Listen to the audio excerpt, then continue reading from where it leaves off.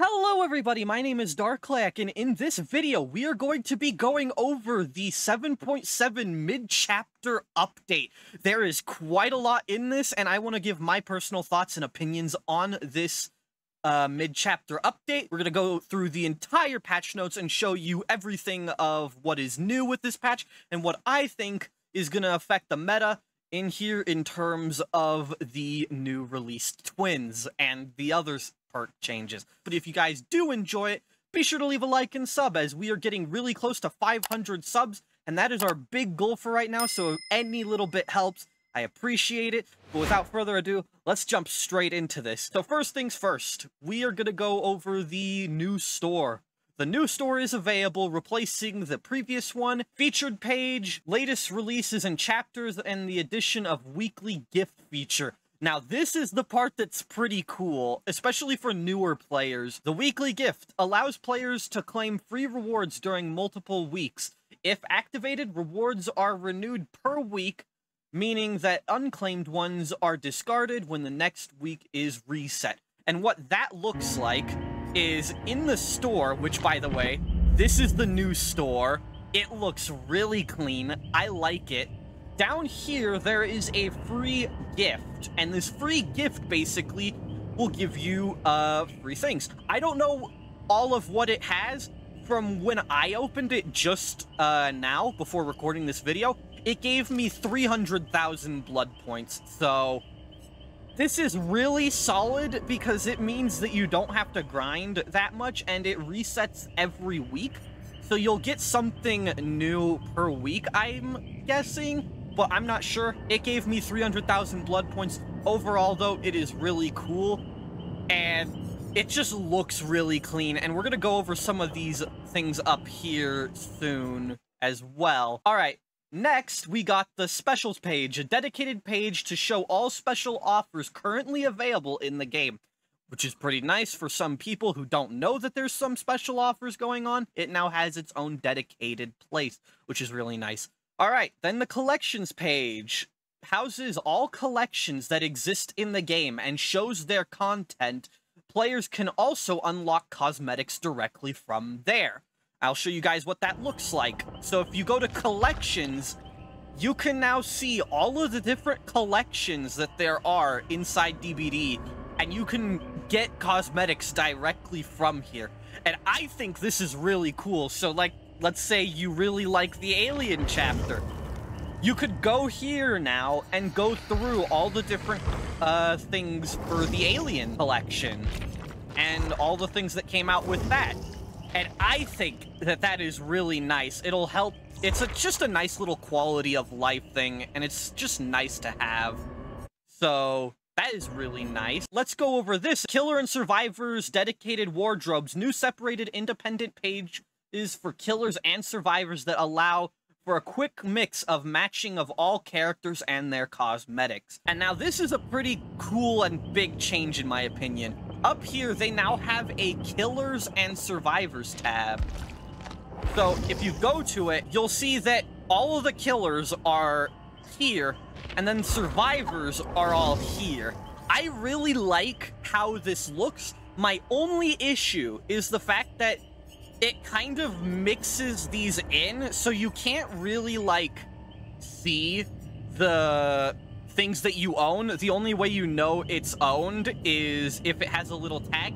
If it was me, I personally would have done what they did before and make it grayed out at the bottom for the ones that you don't own and put all of the ones you do own at the top. But with this, the nice thing is you can see the perks for different characters. Like for this, this these are all the Jake perks. And if you hit this, you'll see the perks that belong to Dwight, which is really useful. And then same thing with customizations. You can go through and see all of the different customizations, which is really nice. And all of the different cosmetics. Overall, really solid, and now it has its own dedicated space for the bio, so it's not very, like, cluttered up. Same thing with killers. Again, kind of wish that they made it so that these uh, were grayed out and were at the bottom so I can easily tell which ones I don't own and quickly find it, but that's fine. But The powers are also here for killers, which I think is pretty cool. It's nicer for new players to get. And the other cool thing that they added is you can now preview Moris. And it also applies to special Moris. For example, the Trapper. I think that that in itself is a massive plus for DBD and their store. Honestly, a good change for them on that end. But again, I do wish that the owned stuff and the not owned stuff would be shown differently, like how it is here. All of these are at the bottom, versus these are the ones you don't own. I wish it was like that for everything. But with that all being said, that's basically everything for the store changes. And then mix and match specifics. Players can now select characters and cosmetics without having to equip them immediately. Clicking on an option allows uh, players to preview the character and cosmetic, which is really nice because before it would uh, switch to the one you were already wearing, so you couldn't really see the um, different cosmetics and mix and match them before you equipped them. Now you can, which is really, really nice. Being able to preview allows players to preview pieces from different locked and unlocked cosmetics. Mix and matching options will now be able to try them out before unlocking them, which is really nice. Match details menu. This one I haven't seen yet, but we're going to check it out together. The match details menus now allow players to review perks. During a match, when opening the match details window, escape on computers, players can see their equipped perks. Hovering on perks and offerings allows players to see the tooltips and read their description.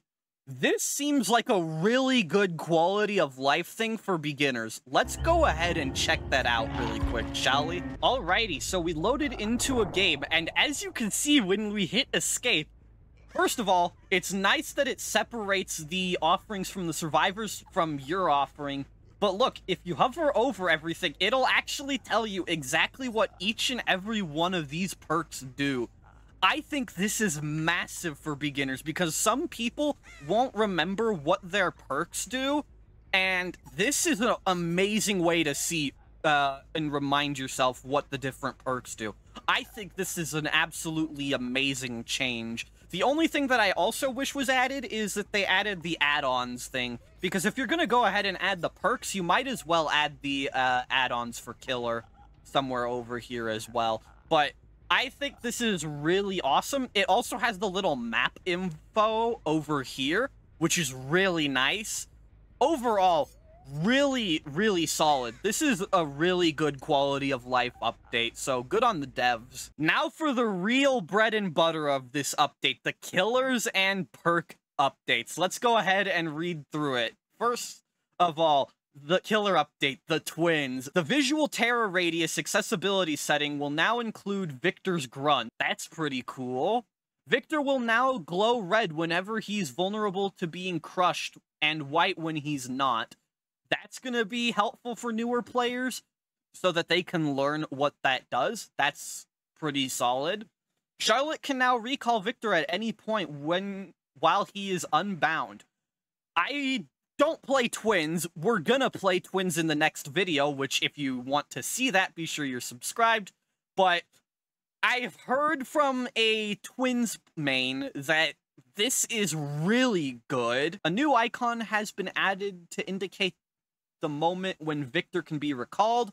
That is gonna be nice, especially for accessibility for newer players learning the twins. This will definitely help decrease the time it takes to switch back to Charlotte to 1.5 seconds. It was 3 seconds. That is a massive buff, literally half the time. That is really good. Decrease the time it takes to unbind Victor by 0.75 seconds. That is a 25% buff. Really nice. Decrease the time it takes to charge Victor's pounce to 0.85 seconds. Was 1 second. That is a solid buff. Increase the cooldown for Victor to come back after being crushed to 10 seconds. Okay, so basically, it'll kind of not reward you if you're playing bad, but it looks like the rest of this just seems really good. we're gonna have to try out the twins and see how they feel as a new player picking them up for the first time. Because this, the twins seems really appealing right now, so we're gonna have to check that out. Add-ons, Tiny Fingernail decreases Victor's unbind time by 33%, was 50 cent. Okay, so a bit of a nerf there. And then decreases pounce time by 10%, was 20%. Okay, so the add-ons received a little bit of a nerf, but overall the twins seem to have gotten a massive buff. So we're going to make a video on that here soon. Killer update on Blight. Improve collision detection to reduce cases where Blight slides off of objects. Now, yes, the sliding off of objects was never really meant to happen, but I know from, like, pro players that this it removes a lot of the skill ceiling with Blight, but it also kind of increases it because now you have to be a lot more careful of where and when you use his bounces. So for people who just don't hug tech or slide off of different things as Blight, this doesn't really do anything, but it makes it harder to, for people to play him for sure. Add-ons, his Shredded Notes decreases the time to recharge a rush token by 0.33 seconds, remove downside. That's a buff to that add-on. Okay, Summoning Stone increases the initial rush duration by 0.5. That's a rework. I don't play Blight, so I don't know how all of these are. I know that these are pretty big changes.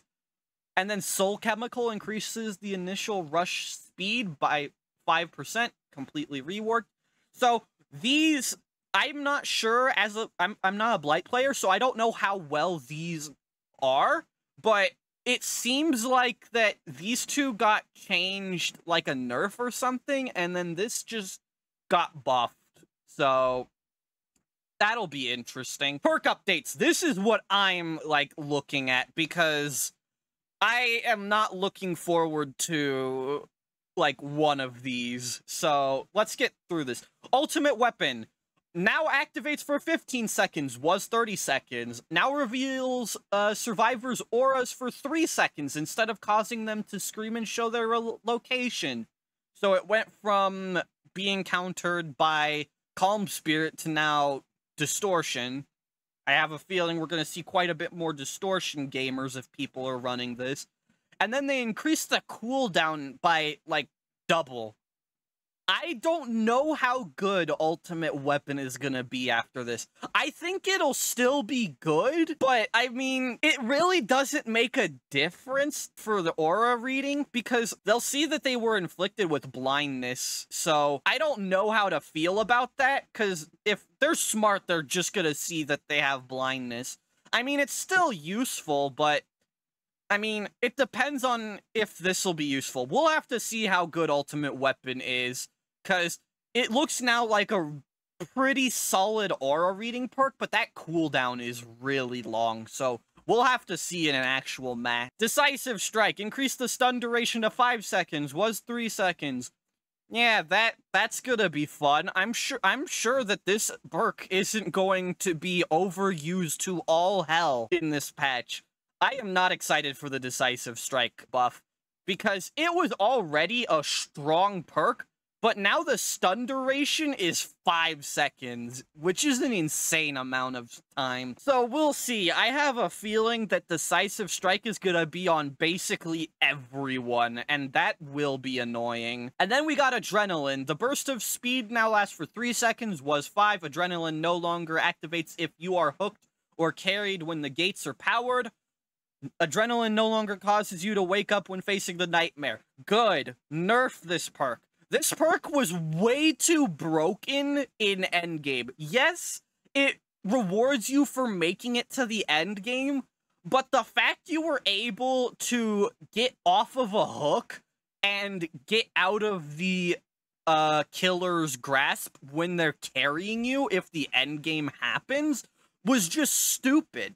It was absolutely just I don't get why this was even a thing in the first place I'm glad to see that this got nerfed because adrenaline was really annoying in the end game. Some people will be like, "Oh, but it was an end game perk and it rewards you for doing well." Yeah, but adrenaline shouldn't be able to get you off of a hook. That's crazy that that's even a thing. Or get you out of the killer's grasp, and that speed boost was just insane. It basically made it so if the killer had a chance to win, they had zero chance to win because they're all the way across the map and they're all off hooks if they're running this. It, it's just a it was just way too powerful. And then it should never cause you to wake up against Freddy. That's just such a this shouldn't affect a specific killer. So this adrenaline nerf was much needed, but in conclusion for the perk updates, I don't think Ultimate Weapon's gonna be very good anymore. We'll see. I have to test it out in an aura build, but I don't know. I mean, causing you to see the aura of survivors for five seconds if they enter your terror radius could be pretty solid, but that cooldown is really long. That's a really harsh cooldown. So we'll see. We'll see how good this is. In map changes, Haddonfield. This map has been difficult for players to enjoy. Tell me about it. We've made the decision to updating it, prioritizing gameplay quality. The length of the street was reduced, line of sight blockers have been added, to the street, removed any closed houses, reduced the amount of tiles on the map, thank God. Added gameplay and blockers to border tiles. That's interesting. That I think that just means people are going to run to the outside of the map or that the outside of the map is safer. I don't know how to feel about that, but added openings in main building house to improve navigation and gameplay, and park tiles have been revisited. Gameplay mechanics. The generator damage interaction has been reviewed so that generators are actually damaged closer to the point where the hit lands to prevent letting go of the input early. Okay, so this is when you'd kick a gen and you'd think you'd kick it because the sound would go off, but it wouldn't actually kick the gen because you'll release it one second too early. This'll actually really be nice. Emblems, it'll no longer be possible to lose a pip after a match. This is nice. This is just nice because sometimes if you're on a losing streak, just losing a pip after pip, it will be annoying. So yeah, let's go ahead and check out uh, Haddonfield. Let's take a look at that. Alrighty, so we're loading into the new Haddonfield, and I already can see quite the difference. There are a lot more cars around here. That is a lot of cars. This These cars used to not be here. That is a lot of cars. And this tile just seems way more complicated this time around. Let's see. How does uh, going into these houses play? There's a tile in this house. So, this seems interesting. I'm not sure if this is going to be a stupidly survivor-sided map still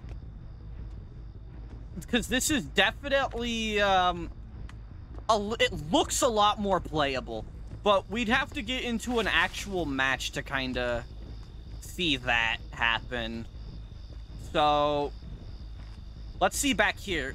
This area is just a complete dead zone now. So that's interesting. Back here, they they removed that uh that house that had that really annoying god pallet, which is really nice, actually. Unless they moved it here, and then I'm gonna eat... Yep, they moved it here. I ate my words. It's fine. so, then let's see here. This house seems a little more playable. It's not like you can loop the killer for forever. This is a lot tighter, though. That's something for sure. Um, let's see. Up here, this is still the same. There's a gen up here. There's two ways they can leave now, technically three. Which, I'm not sure how to feel about that, but... I mean, it gives survivors a chance to escape, so it's probably a good thing. There's a locker and pallet over here. The exit gate is here which is interesting. I don't remember it being there originally. Let's go ahead and quickly test out the damage thing.